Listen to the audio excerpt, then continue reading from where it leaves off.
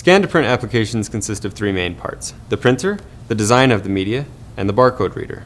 Code barcode readers communicate directly to a portable or desktop printer via cable or Bluetooth connection. Each printer, regardless of manufacturer, has a programming language that describes the appearance or design of a printed page or label. Code application engineers are well versed in each printer language and can create customized designs for unique workflows. The media design and barcode reader commands are combined to form a JavaScript.